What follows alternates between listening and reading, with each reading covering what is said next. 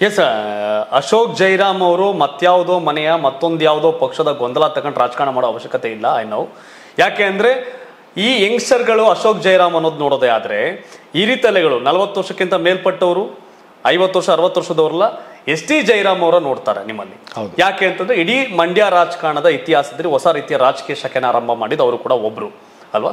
So ಈ ಗ್ಯಾಪಲ್ಲಿ ನೀವು ಫೀಲ್ಡ್ಗೆ ಹೋದಾಗ ನಿಮ್ಮ ತಂದೆಯವ್ರ ಜೊತೆ ಒಡನಾಟ ಇದ್ದವರು ಒಂದಷ್ಟು ಮತದಾರರು ಮತ್ತೆ ನಾಯಕರುಗಳು, ಅವ್ರ ರೆಸ್ಪಾನ್ಸ್ ಹೇಗಿದೆ ಅಂತ? ತುಂಬಾ ಅದ್ಭುತವಾಗಿದೆ ಅದಂತೂ. ಯಾಕೆಂತ ಹೇಳಿದ್ರೆ, ನೀವು ಆಗ್ಲೇ ಹೇಳ್ದಂತೆ ನಮ್ಮ ತಂದೆಯವರು ಇದ್ದಿದ್ರೆ ಇವಾಗ ಎಪ್ಪತ್ತು ವರ್ಷ ಪ್ಲಸ್ ಈ ವರ್ಷಕ್ಕೆ. ಅವ್ರ ಜೊತೆ ಒಡನಾಟ ಇಟ್ಕೊಂಡವರು ಸೊ ಬಹುತೇಕ ಐವತ್ತು, ಐವತ್ತೈದು ವರ್ಷ ದಾಟಿರುವಂಥವ್ರು, ಅರವತ್ತು ವರ್ಷ ದಾಟಿರುವಂಥವ್ರು.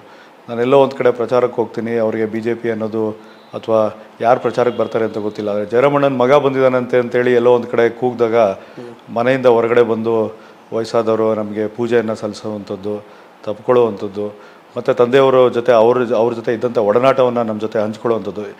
ನನಗೆ ಆಶ್ಚರ್ಯ ಆಗ್ತದೆ. ಇಪ್ಪತ್ತೈದು ವರ್ಷ ಆಗಿದೆ ಜಯರಾಮಣ್ಣವರು ಸತ್ತು. ಇವತ್ತಿಗೂ ಕೂಡ ಯಾವ್ದಾದ್ರು ಹಳ್ಳಿಗೆ ಹೋದರೆ ಹೊಸ ಕತೆ ಸಿಗುತ್ತೆ ನನಗೆ.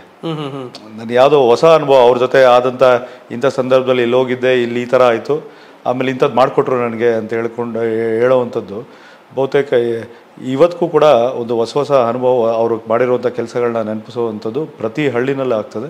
ಅದರಲ್ಲೂ ವಿಶೇಷವಾಗಿ ನಮ್ಮ ಕೆರಗೋಡು, ಕಸಬಾ, ನಮ್ಮ ಮಂಡ್ಯ ಸಿಟಿನಲ್ಲಿ ಪ್ರತಿಯೊಂದು ಮನೆಯವರು ಕೂಡ ಅವ್ರ ಜೊತೆ ಒಂದು ಒಡನಾಟವನ್ನು ಇಟ್ಕೊಂಡಿದ್ದು ಭಾಳ ಈ ಚುನಾವಣೆ ನನಗೆ ಎಸ್ ಟಿ ಜಯರಾಮ್ರವರ ಹೆಸರೇ ಶ್ರೀರಕ್ಷೆ.